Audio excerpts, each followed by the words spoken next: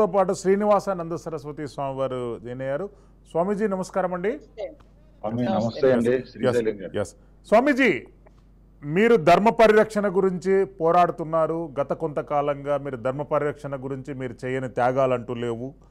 ఈరోజు అధర్మ పరిరక్షణకు అధర్ములకు మద్దతు పలికే కొంతమంది ఒక సమావేశం పెట్టారు విశాఖపట్నంలో.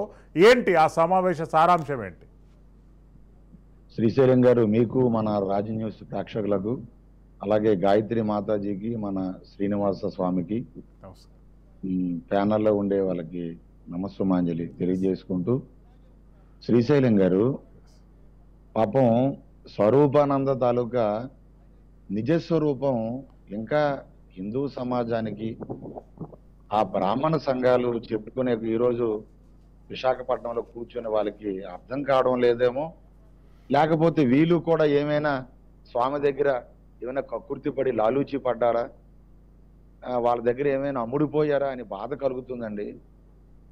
వాళ్ళు ఏం మాట్లాడారంటే ఒకసారి వేద పాఠశాలలు అడ్డుకుంటున్నారు. హిందుత్వానికి వేద పాఠశాలలు ఆశ్రమాలు యజ్ఞాలు హోమాలు చేసేటటువంటి బ్రాహ్మణులకి పొట్ట కొట్టేస్తున్నారు ఆశ్రమాలు మూసేయమంటే ఎలాగా? సీజ్ చేసేయమంటున్నారు. సీజ్ చేసేస్తే అక్కడ ఉండేటువంటి ఉపాధి పోతుంది. ఏ రకరకాలుగా. ఇంతకుముందు సింహాచల దేవస్థానం భూములు ఆక్రమణ చేస్తే మీరు ఏమయ్యారు?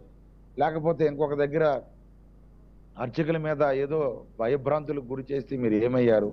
ఈ శ్రీనివాసానంద ఈ ధార్మిక సంఘాలు లేకపోతే సాధు పరిషత్ సభ్యులు ఏమయ్యారని ఏదో మాట్లాడించాడు ఆయన.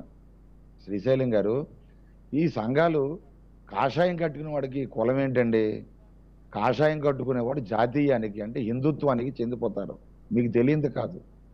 నా కర్మన నా ప్రజయ ధనేన త్యాగే నైకో అమృతత్వ మానసు. అటువంటి కాషాయం కట్టేమంటే మొత్తం హిందూ సమాజానికి చెందిన వ్యక్తులుగా మారిపోతాం. హిందూ బంధువుగా మారిపోతారు అంతే. మారిపోతాం. అది Yes. శ్రీశైలం ఎస్ అటువంటిది ఈ రోజు కూర్చొని మా బ్రాహ్మణు మా బ్రాహ్మణులకి బ్రాహ్మణులకి ఎవడు అన్యాయం చేస్తున్నాడు? స్వరూపానంద చేస్తున్నటువంటి కాషాయ బట్టలు వేసుకొని తప్పు చేస్తున్నాడయ్యా. ఇది తప్పు. ఆశ్రమాలకి అందరికీ చెడ్డ పేరు వస్తుందని స్వామీజీలందరికీ కలంకం వస్తుందని మేము బాధపడి తిరుమల క్షేత్రంలో అయ్యా వాళ్ళు ఇచ్చినటువంటి ఏదైతే టీటీడీ బోర్డు ఇచ్చిన ఐదు వేల ఎస్ఎఫ్టి స్థలాన్ని కాకుండా పక్కనే రెండు వేల నూట యాభై ఎస్ఎఫ్టి ఆక్రమణ చేశాడని తిరుమల వారే చెప్పారు. దాన్ని జగన్మోహన్ రెడ్డి ఎంతో ప్రేమతో రెగ్యులేట్ చేశారు ఆయనకి.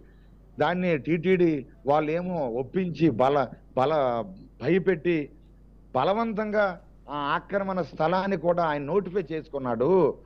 ఫోన్ సరే అయిపోయింది. ఆ పక్కనే వాగుందయ్యా.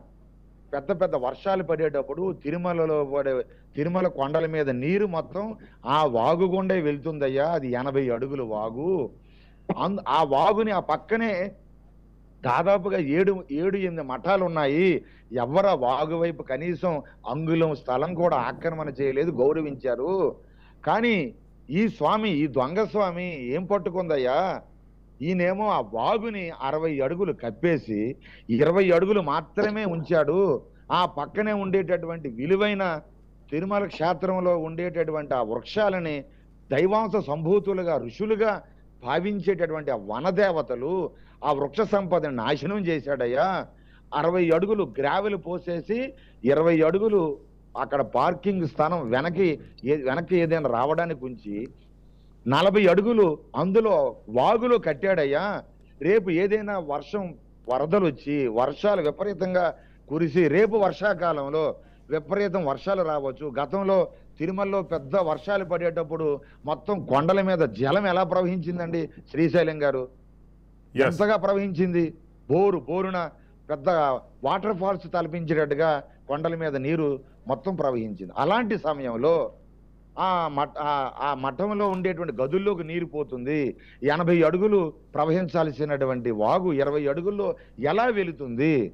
అసలు టీటీడీ వాళ్ళు కేవలం నాలుగు అంతస్తులకు మాత్రమే పెర్మిషన్ ఇస్తే ఆరు అంతస్తుల వద్ద కట్టి ఇది టీటీడీ చట్టాలను ఉల్లంఘించాడు ఈయన.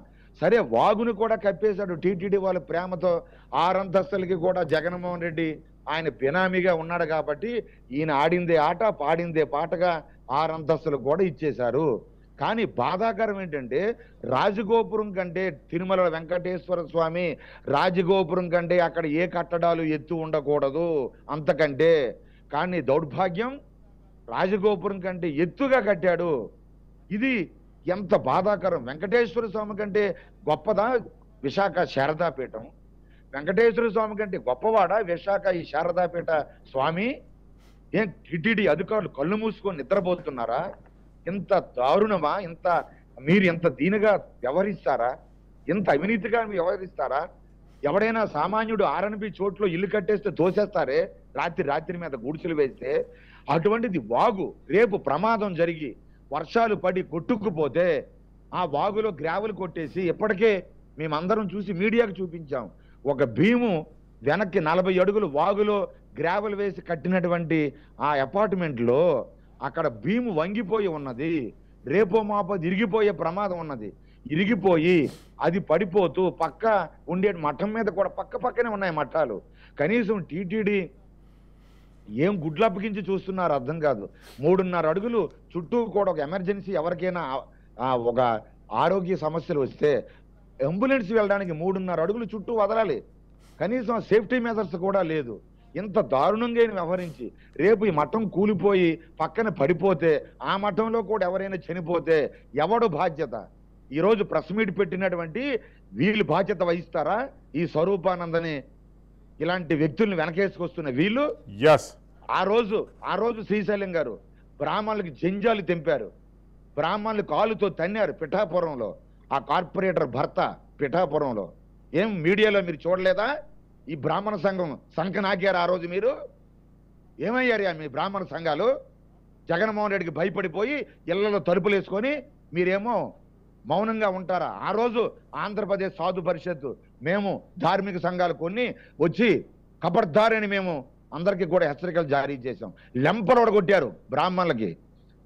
తిరుమలలో తిరుమలలో జరుగుతున్నటువంటి అన్యాయాలు కానీ లేకపోతే మరొక ప్రాంతంలో జరుగుతున్న అన్యాయాలు అంటే వ్యక్తిగతంగా స్వామీజీ అంటే ఇక్కడ బ్రాహ్మణులు అంటే బ్రాహ్మణ సంఘాలు వాళ్ళని మనం దూషించడం అనేటటువంటిది ఈ వేదిక పైన సమంజసం కాదు. కేవలం స్వరూపానంద సరస్వతి చేస్తున్నటువంటి అన్య అక్రమాలపైనే మనం ఫోకస్ చేస్తే బాగుంటుంది. శ్రీనివాసానంద స్వామి గారు శ్రీనివాసానంద స్వామి భవిష్యత్తులో యా స్వామీజీ చెప్పండి. అదే అదే మనం కోరుతున్నాం బ్రాహ్మణ సంఘాలు అందరూ లేరండి. చాలా మంది ఎవరు రాలే. ఈయన ఈ రోజు. విశాఖపట్నంలో ప్రెస్ కాన్ఫరెన్స్ నిర్వహించింది బ్రాహ్మణ సంఘాలు కాదు. ఈయన స్పాన్సర్ చేసినటువంటి కొంతమంది వ్యక్తులు. అదండి అదండి. అది నేను చెప్పాలనుకుంటున్నాను కాబట్టి అంటే ఈ బ్రాహ్మణ సంఘాలు అందరూ కూడా భయపడిన ఆ రోజు ఎందుకంటే జగన్ అంటే భయపెట్టేశాడు. అందరినీ. పెద్ద పెద్ద మినిస్టర్సే భయపడిపోయారు. ఇక బ్రాహ్మణ సంఘాలు పరిస్థితి మనం ఊహించనక్కర్లే. ఆ రోజు కూడా మేము మేము తిరుగుబాటు చేసి యుద్ధం చేశాం. మీకు తెలియదు కాదు.